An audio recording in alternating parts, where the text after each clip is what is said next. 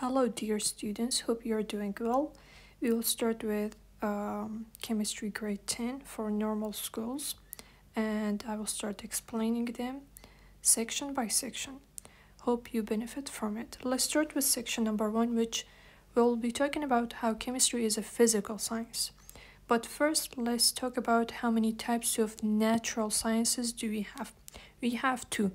Number one, biological sciences. Number two, physical sciences.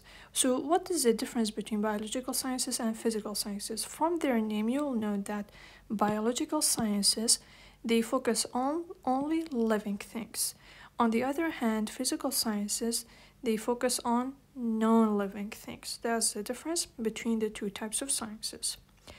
Then let's talk about uh, chemistry. What is chemistry, or let us define chemistry. Chemistry, or an accurate definition of chemistry is that it is the study of the composition, what things they are made up of, the structures, how they're connected together, and the properties of matter. Later on, we'll talk about what is matter, what can be defined as matter, and also the processes that matter undergoes, yani changing from something into something else, for example or, or going back or changing from one thing into more than one thing. We will talk about that later on on other chapters. Sometimes in chemistry you use instruments. In your book, they have mentioned two types of instruments. Number one, scanning electron microscope, and number two, X-rays.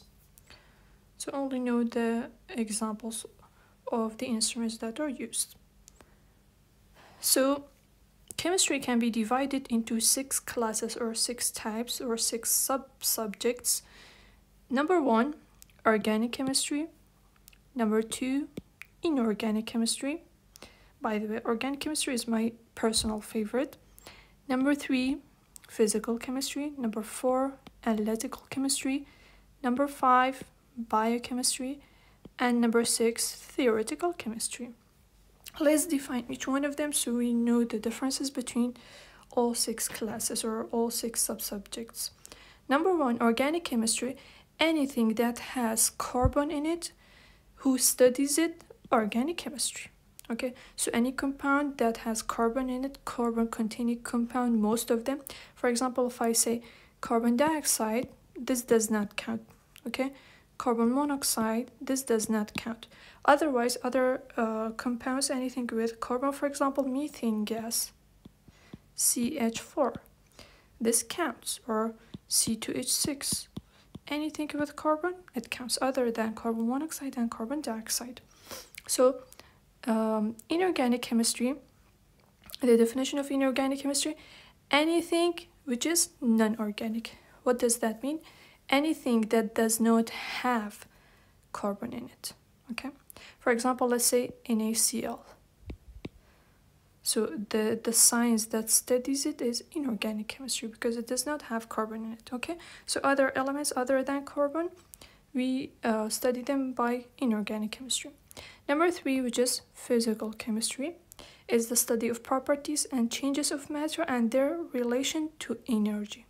Anything related to energy for example, some reactions, they need energy in order for them to occur. Other reactions, no, they give us energy, so they give out energy in order for the reaction to occur to become more stable. So anything related to energy, who studies it? Physical chemistry. Analytical chemistry is the identification of the components and the composition of materials. So What do we have inside this material and how much of it do we have, the percentage, their percentages uh, who studies it, analytic chem chemistry, and most of the time you use devices in order to uh, study compounds. Number five, biochemistry. Bio coming from biology, so anything that is living. Think uh, how do we study it? Their composition.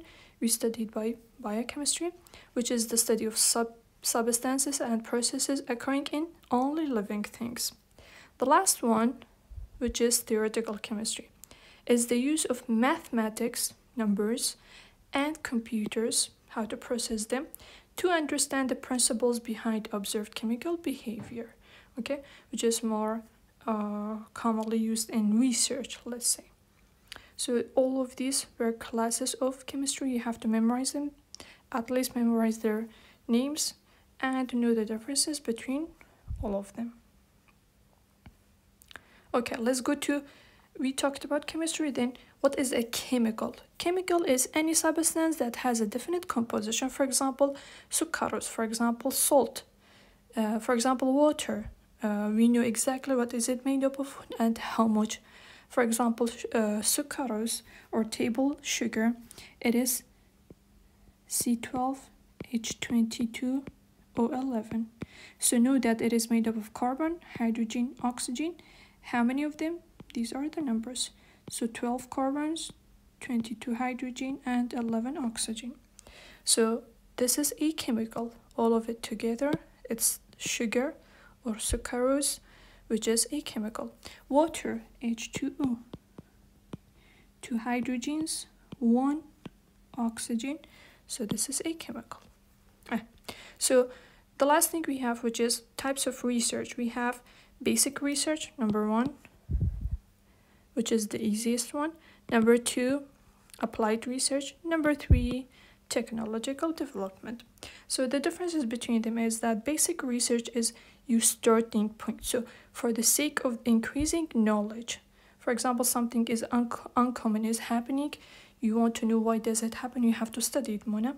So studying it in order to know better about this substance or this thing that is happening, it's basic research.